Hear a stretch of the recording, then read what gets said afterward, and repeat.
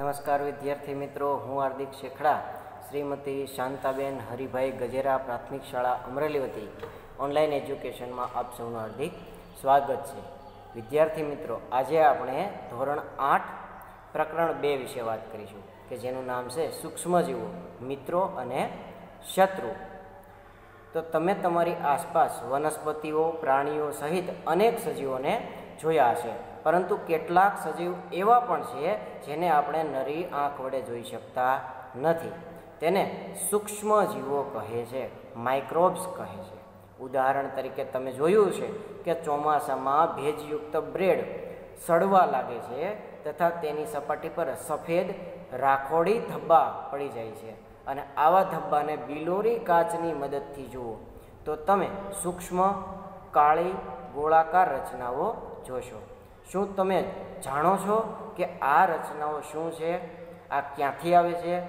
તો ચાલો, આગળ આપણે આ પ્રકરણની અંદર આવવું જાણીએ. તો વિદ્યાર્થી મિત્રો સૌ પ્રથમ આપણે સૂક્ષ્મ જીવો વિશે વાત કરીશું. સૂક્ષ્મ જીવોને અંગ્રેજીમાં માઇક્રો ઓર્ગેનિઝમ્સ કહે છે. તો પ્રવૃત્તિ બે પોઈન્ટ એક દ્વારા આપણે સૂક્ષ્મ જીવો વિશે માહિતી મેળવીએ. તો પ્રવૃત્તિ બેમાં શું કરવાનું છે? બગીચા અથવા મેદાનમાંથી એક બીકરમાં ભીની માટી લેવાની તથા તેમાં પાણી ઉમેરવાનું. માટીના કણો બેસી જાય ત્યારબાદ બીકરમાંથી પાણીનું એક ટીપું સ્લાઇડ પર લેવાનું અને તેને માઇક્રોસ્કોપની મદદથી અવલોકન કરવાનું કે આપણને એ પાણીના ટીપામાંથી શું દેખાય છે. આવી પ્રવૃત્તિ કરશું, ત્યાર પછી પ્રવૃત્તિ બીજી કરશું. પ્રવૃત્તિ બેની અંદર તળાવમાંથી આપણે પાણીના કેટલાક ટીપા લેશું, તેને કાચની સ્લાઇડ પર ફેલાવીને માઇક્રોસ્કોપની મદદથી અવલોકન કરશું. તો આપણને અવલોકનની અંદર શું જોવા મળશે? તમને સૂક્ષ્મજીવો હલન ચલન કરતા જોવા મળશે? ચાલો જાણીએ આપણે કે આપણને શું જોવા મળે છે. આ અવલોકન પરથી આપણને ખ્યાલ આવશે કે કે માટી તેમજ પાણીના નાના નાના સૂક્ષ્મ જીવો રહેલા છે. માટે કે પાણીની અંદર શું રહેલું છે? નાના નાના સૂક્ષ્મ જીવો રહેલા હોય છે. જોકે તે દરેકને સૂક્ષ્મ જીવોની કક્ષામાં મૂકી શકાતા નથી. આ સૂક્ષ્મજીવો એટલા નાના હોય છે કે તેને નરી આંખે જોઈ શકતા નથી. અને એમાંના કેટલાક જેવા કે બ્રેડ ઉપર ઉગવાવાળી ફૂગને બિલોરી કાચની મદદથી જોઈ શકાય છે, જ્યારે અન્યને માઇક્રોસ્કોપની મદદ વગર જોઈ શકાતા નથી. તો આ જ કારણ છે કે તેમને આપણે સૂક્ષ્મજીવો કહીએ છીએ. શું કામ સૂક્ષ્મજીવો કહીએ છીએ? કારણ કે અમુક અમુક જીવને આપણે નરી આંખે જોઈ શકતા નથી. અમુકને બિલોરી કાચની મદદથી જોઈ શકાય અથવા તો અમુકને જોવા માટે સૂક્ષ્મ એટલે કે માઇક્રોસ્કોપની મદદની જરૂર પડે છે. માટે જ એને આપણે સૂક્ષ્મજીવો કહીએ છીએ. સૂક્ષ્મજીવોને મુખ્ય ચાર ભાગમાં વર્ગીકૃત કરવામાં આવે છે. જેમ કે બેક્ટેરિયા, ફૂગ, પ્રજીવ અને કેટલીક લીલ. આમાંથી કેટલાક સામાન્ય સૂક્ષ્મજીવો તમને આકૃતિની અંદર દર્શાવેલા છે. તો વિદ્યાર્થી મિત્રો, તમે બેક્ટેરિયાની અહીંયા ફોટો તમે જોઈ શકો છો. સામાન્ય રીતે કંઈક આવા બેક્ટેરિયા દેખાય છે. ત્યાર પછી આપણે લીલની વાત કરીએ તો આ લીલ છે. અહીંયા તમને જે ફોટા દેખાય છે, એ બંને લીલ છે. ત્યાર પછી બીજા કેટલાક પ્રજીવની વાત કરીએ તો અહીંયા અમીબા અને પેરામિશિયમની જે આપણને ફોટો આકૃતિ દેખાય છે, એ પેરામિશિયમ અને અમીબા એ પ્રજીવ છે. ત્યારબાદ આપણે અહીંયા ફૂગ વિશે વાત કરતા હતા. તો આ કેટલાક ફૂગના પ્રકાર છે. તમે આ આકૃતિની અંદર બેક્ટેરિયા, લીલ, પ્રજીવ અને ફૂગ વિશે માહિતી મેળવી. તમે એના ફોટા જોઈ શકો છો. તો ચાલો આપણે વાયરસ વિશે વાત કરીએ. વાયરસ પણ સૂક્ષ્મદર્શી હોય છે, પરંતુ તે અન્ય સૂક્ષ્મ જીવો કરતાં ભિન્ન હોય છે. તે માત્ર યજમાન કોષમાં જ વિભાજન પામે છે, અર્થાત એટલે કે બેક્ટેરિયા વનસ્પતિ અથવા પ્રાણીમાં જ વિભાજન પામે છે. એકલા વિભાજન પામતા નથી. વાયરસની આકૃતિ પણ આપણને દર્શાવેલી છે. તમે બાજુની સ્ક્રીન ઉપર જે ફોટા જોવો છો એ કેટલાક વાયરસના ફોટા છે. તમે એને જોઈ શકો છો. કેટલાક સામાન્ય રોગ જેવા કે શરદી, ઇન્ફ્લુએન્ઝા અને ઉધરસ વગેરે વાયરસ દ્વારા થાય છે. કેટલાક વિશેષ રોગ જેવા કે પોલિયો તેમજ અછબડા જેવા રોગ પણ વાયરસ દ્વારા થાય છે.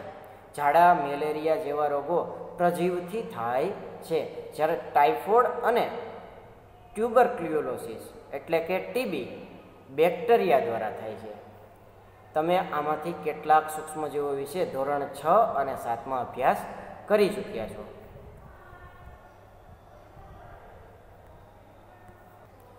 તો ચાલો મિત્રો, આપણે જાણીએ કે સૂક્ષ્મજીવો ક્યાં રહે છે. સૂક્ષ્મજીવો એક કોષી હોઈ શકે છે, જેમ કે બેક્ટેરિયા, કેટલીક લીલ પ્રજીવો અથવા તો બહુકોષીય સૂક્ષ્મજીવો જેવા કે લીલ અને ફૂગ તો આ સૂક્ષ્મજીવો જીવો કોષી હોઈ શકે છે અને બહુકોષી પણ હોઈ શકે છે. તે બર્ફીલી ઠંડીથી ગરમા ગરમ પાણીના જરા તથા રણથી લઈ અને દલદલયુક્ત ભૂમિ જેવા પ્રત્યેક પર્યાવરણમાં ટકી શકે છે. તે મનુષ્ય સહિત અન્ય પ્રાણીઓના શરીરમાં પણ જોવા મળે છે. કેટલાક સૂક્ષ્મજીવો અન્ય સજીવો પર આશ્રિત થાય છે. જ્યારે કેટલાક સ્વતંત્ર પોતાની રીતે જોવા મળે છે. અમીબા જેવા સૂક્ષ્મજીવો એકલા રહેતા હોય છે, જ્યારે ફૂગ તેમજ બેક્ટેરિયા વસાહતમાં એટલે કે સમૂહમાં આપણને જોવા મળે છે.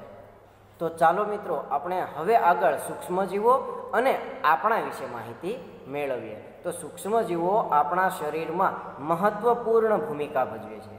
તેમાંથી કેટલાક આપણા માટે લાભદાયી હોય છે તથા કેટલાક હાનિકારક અને રોગકારક હોય છે. તો ચાલો આપણે તેનો વિસ્તારથી અભ્યાસ કરીએ. સૌ પ્રથમ વિદ્યાર્થી મિત્રો, આપણે ઉપયોગી સૂક્ષ્મજીવોથી અથવા તો ઉપયોગી સૂક્ષ્મજીવોની વાત કરીએ, તો સૂક્ષ્મજીવોને વિભિન્ન કાર્યોમાં ઉપયોગમાં લેવામાં આવે છે. તેનો ઉપયોગ દહીં, બ્રેડ તેમજ કેક બનાવવા માટે કરવામાં આવે છે. પ્રાચીન કાળથી સૂક્ષ્મજીવોનો ઉપયોગ આલ્કોહોલ બનાવવા માટે કરવામાં આવી રહ્યો છે.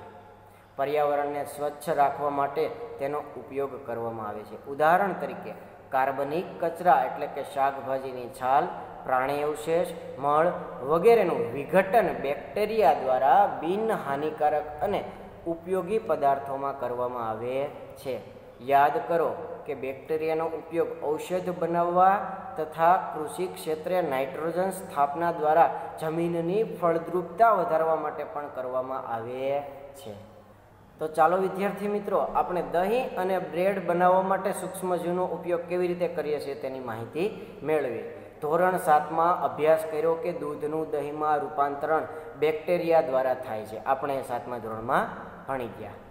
પહેલી પણ કહે છે કે મેં મારી મમ્મીને હુફાળા દૂધમાં થોડુંક દહીં ભેળવતા જોઈ છે. જેનાથી દહીં જામી જાય છે અને મને આશ્ચર્ય થયું કે આવું કેમ થાય છે. તો ચાલો આપણે પહેલીને કહીએ કે દહીં કેવી રીતે બનાવવામાં આવે છે.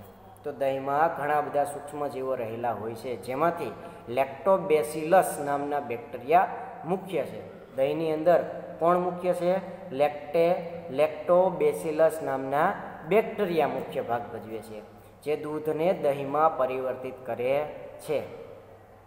તે દૂધમાં વૃદ્ધિ પામી અને તેને દહીંમાં ફેરવે છે. બેક્ટેરિયા ચીજ અથાણું તેમજ અનેક ખાદ્ય પદાર્થોના ઉત્પાદનમાં સહાયતા કરે છે.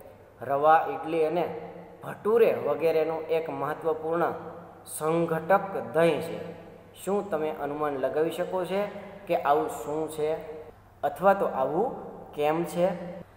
તો ચાલો જાણીએ વિદ્યાર્થી મિત્રો પ્રવૃત્તિ બે પોઈન્ટ ત્રણ. એક વાસણમાં અડધો કિલો લોટ અથવા તો મેંદો લ્યો, તેમાં થોડી ખાંડ ઉમેરી અને ગરમ પાણી ઉમેરો. તેમાં એક ચપટી ઈસ્ટ પાવડર ઉમેરો અને સરખી રીતે ભેળવી કણક બનાવો. તમે બે કલાક પછી શું જોશો? શું તમે કયા તૈયાર કરેલ કણકને ફૂલેલો જોતો જોયો છે કંઈક આપણને ચિત્રની અંદર જોઈએ છીએ બાજુના. એવી જ રીતે આપણને મેંદો છે એ વાસણની અંદર ફૂલેલો જોવા મળે છે. કેમ આવું થાય છે? તો કે ઈષ્ટ ઝડપથી વિભાજન પામે છે અને શ્વસન દરમિયાન કાર્બન ડાયોક્સાઇડ ઉત્પન્ન કરે છે. ગેસના પરપોટા બાંધેલા મેંદાના લોટનું કદ વધારી દે છે. અને બ્રેડ પેસ્ટ્રીઝ અને કેક બનાવવા માટે બેકિંગ ઉદ્યોગમાં ઈસ્ટનો કંઈક આવી જ રીતે ઉપયોગ આધારભૂત બને છે.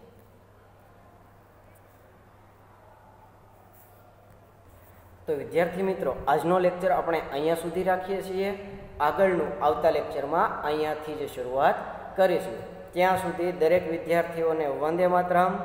જય હિન્દ.